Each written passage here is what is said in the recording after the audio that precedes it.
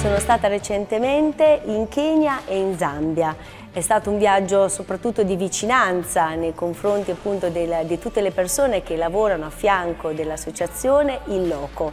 È stato bellissimo rincontrare tante persone, Era, erano cinque anni che mancavo dal Kenya, quindi anche se sono stati pochissimi giorni, ma è stato davvero bello riabbracciare tante persone che in questi anni hanno continuato a lavorare a fianco dell'associazione, perché noi chiaramente lavoriamo con tutto staff locale cuoche, fisioterapisti e insegnanti sono tutti locali, guidati da un cooperante che è il nostro insomma, collaboratore. E sicuramente le due più grandi novità sono appunto l'apertura di un centro professionale Teveta, è un centro di istruzione superiore che è aperto a giovani e anche adulti con disabilità e mh, che lavorano appunto a fianco ad altri operatori e imparano a fare tantissime attività pratiche e in particolare abbiamo aperto due sezioni che sono il settore agricoltura e il settore allevamento.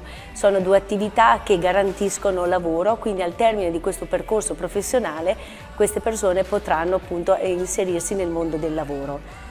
L'altro progetto è l'apertura del centro di maternità, però vederla con i miei occhi, vedere appunto la nascita di bambini al centro è davvero emozionante, un luogo bello, sicuro, dove davvero la vita esplode in tutta la sua bellezza. E poi gli incontri anche istituzionali? Sì, perché appunto, eh, soprattutto in Zambia, ma anche in Kenya e in Tanzania, noi lavoriamo a fianco delle istituzioni locali. Tutti i nostri progetti sono riconosciuti, il progetto dell'istruzione dal Ministero dell'istruzione, i progetti che riguardano la salute appunto al Ministero della Salute, quindi è un lavoro davvero di cooperazione, di a fianco a fianco lavorare insieme alle istituzioni diventa per noi fondamentale. Lo staff per esempio della clinica è interamente governativo, questo per noi garantisce anche sostenibilità nel futuro.